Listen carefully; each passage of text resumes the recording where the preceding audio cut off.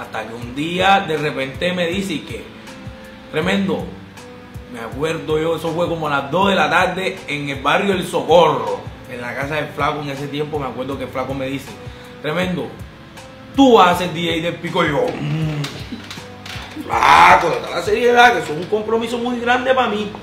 No, no, yo no voy a hacer ningún DJ de pico ni nada. Déjame mi batería, que lo mío es la batería, ¿no? Ya, entonces, al pasar del tiempo, el flaco me compró un micrófono. Estaba el chiquitín, que era DJ oficial en ese tiempo, y el flaco me compró un micrófono inalámbrico. Y yo tocaba la batería y de vez en cuando hablaba ya. Y la gente se fue dando cuenta de eso y, y poco a poco se fueron dando las cosas hasta que el flaco dijo, bueno, ahora te vas a montar tú de titular para ver qué es lo que es. Cuando ya se Trem- Tremendo se montó como DJ, Yo dije, bueno, es un nuevo reto para mí. Y la verdad es que yo la di toda. Yo la di toda, me acuerdo yo.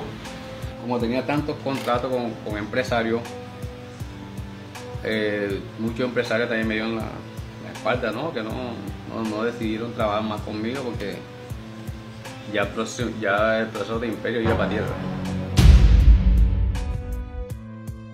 Que la, primera vez fue en San Pablo, pero una de las primeras veces que también tengo que tener muy presente fue una vez en, en Cotraisbol, se llamaba la sede en ese tiempo de los Picó. Hacían muchos eventos ahí, me acuerdo yo. Y, y entonces estábamos compitiendo ese día con el Gemini Junior.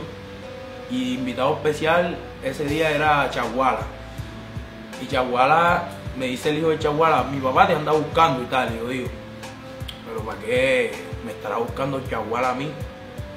Yo nunca había pasado palabra así con Chaguala, pero ya me conocí y sabía que yo estaba trabajando en el imperio como baterista. O sea, ya se escuchaba como el rumor del tremendo por ahí, el tremendo, el tremendo. Entonces el Chaguala se acerca donde mí y me dice, che, ven acá, ¿tú qué estás pensando? Yo acabo de ver tu trabajo en la tarima y me doy cuenta que tú tienes viaje. Coge ese picón, tú eres bobo, ¿eh? Si tú tienes viaje para esa vaina y tal. Ya yo como que lo había decidido, pero al, sentir que el Chaguala me decía esas palabras, yo dije, bueno, yo voy a ir con todas. Y desde ahí fue que empezó la vaina, compa.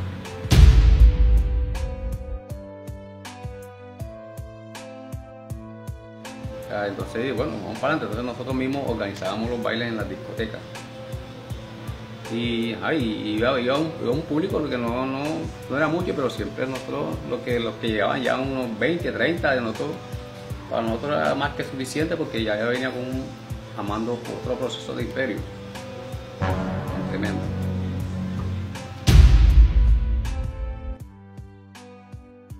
Yo, yo llevo un para adelante con tremendo y me la, voy me la juego toda con él. Pero ya fuimos a hacer otra presentación a Cincelejo. Me fui con Tremendo y Pantera. Y decidí. Ah, estábamos tocando, estaba tocando, creo que fue un 20 de enero, algo así también. Estaba un 20 estaba- estábamos tocando en Cincelejo un 20 de enero. Y estaba tocando un pico ahí que el tigre de, de ya estaba montado. Y que Baza, que le decían Baza, decía que DJ Baza. Para entrar me dice, flaco, ey, vea que este man que está es bueno. Yo, ¿cuál? El man que está en, el Tigre. El Baza, yo.